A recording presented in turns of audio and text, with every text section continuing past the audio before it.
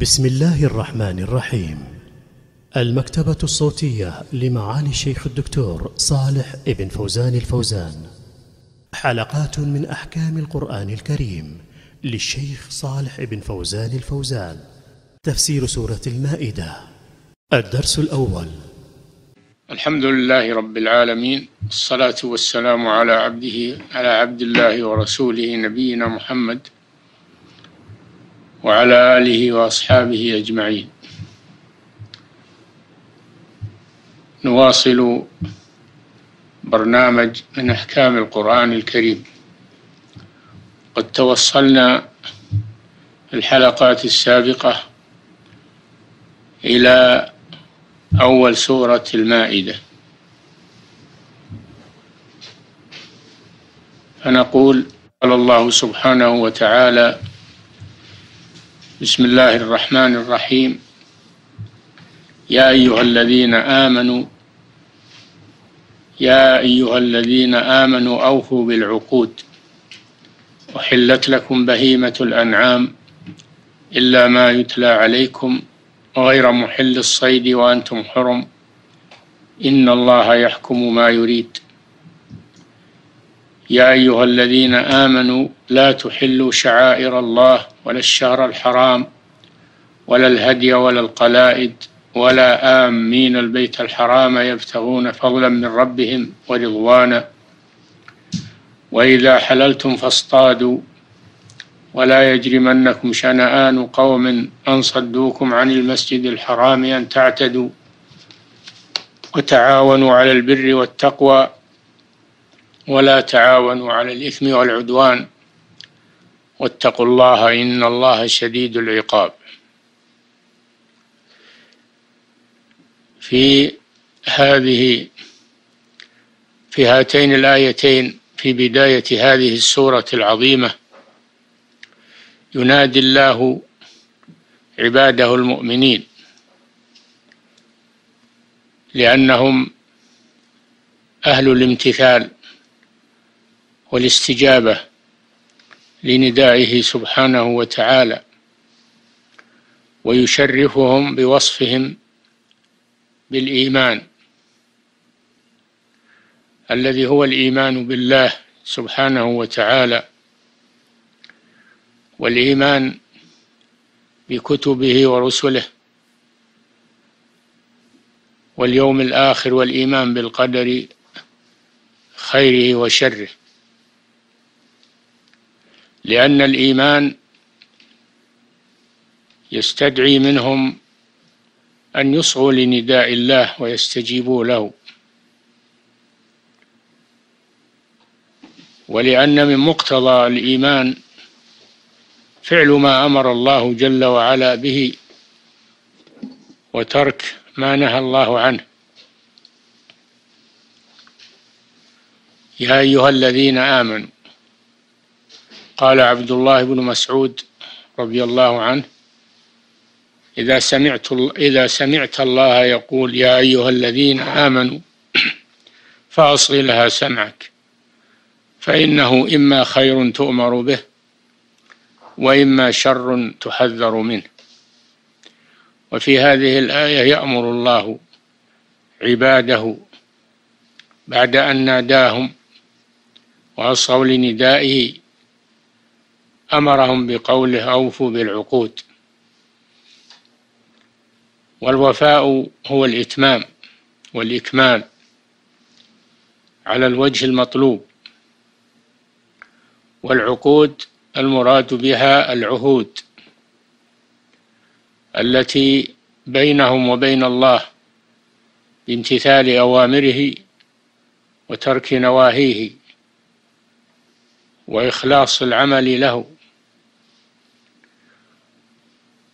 والعهود والعقود التي بينهم وبين الناس في المعاملات وغيرها وبين الراعي والرعية وبين المسلمين بعضهم مع بعض.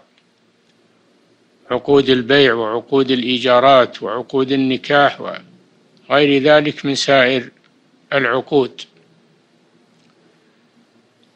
التي التي فيها مصالحهم ويتم بها اتفاقهم وتراضيهم. الله أمرهم أن يوفوا بها بعد انعقادها لأن هذا مقتضى الإيمان. أوفوا بالعقود التي بينكم وبين الله وأوفوا بالعقود التي بينكم وبين الناس بين الراعي والرعية بين الرعية بعضهم مع بعض بين المسلمين والكفار. فكل عقد لا يخالف شرع الله فإنه يجب الوفاء به. فلذلك أطلقها بقول أوفوا بالعقود ولم يحددها. ثم قال سبحانه أحلت لكم بهيمة الأنعام. هذا من جملة العقود. وهو وهو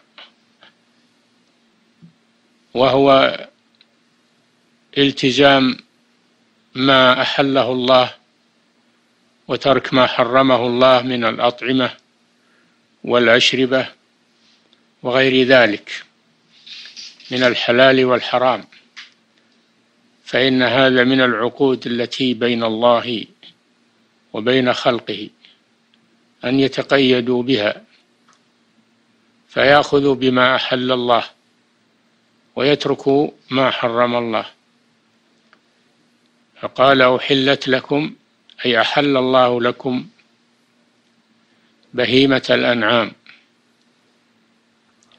وبهيمة الأنعام هي الإبل والبقر والغنم. سميت بهيمة لأنها لا تنطق. والأنعام مضاف إليه إضافة بيانية لأن لفظ البهيمة يشمل كل البهائم التي خلق الله سبحانه وتعالى. فإضافته إلى الأنعام تخصيص لها بالبقر بالإبل والبقر والغنم سواء كانت أهلية أو وحشية. كلها حلال. إلا ما يتلى عليكم أي سوى ما يتلى عليكم تحريمه. كما في قوله تعالى حرمت عليكم الميتة والدم ولحم الخنزير وما أهل وما أهل لغير الله به والمنخنقة والموقوذة والمتردية والنطيحة وما أكل السبع إلا ما ذكيتم وما ذبح على النصب. فهذه تستثنى من قوله تعالى أحلت لكم بهيمة الأنعام. إلا ما يتلى عليكم. حلت لكم بهيمة الأنعام إلا ما يتلى عليكم. ثم قال جل وعلا غير محل الصيد وأنتم حرم. هذا استثناء من قوله أحلت لكم بهيمة الأنعام. فاستثنى منها الصيد في حالة الإحرام وفي داخل الحرم فإنه لا يجوز الاصطياد للمحرم ولا أكل الصيد ولا يجوز الاصطياد في الحرم المكي. فهذا مما حرم الله واستثناه من قوله بهيمة الأنعام. غير محل, محل الصيد وأنتم حرم والمراد بالصيد ما توحش. المراد به آه، آه، ما ما عدا الأهل من بهيمة الأنعام وهو ما توحش في البراري ونفر من الناس من بهيمة الأنعام. وأنتم حرم أي في حالة الإحرام فتحريمه مؤقت حتى يحل المحرم من إحرامه. كما في آخر السورة في قوله يا أيها الذين آمنوا لا تقتلوا الصيد وأنتم حرم. هذا وإلى الحلقة القادمة بإذن الله. السلام عليكم ورحمة الله وبركاته.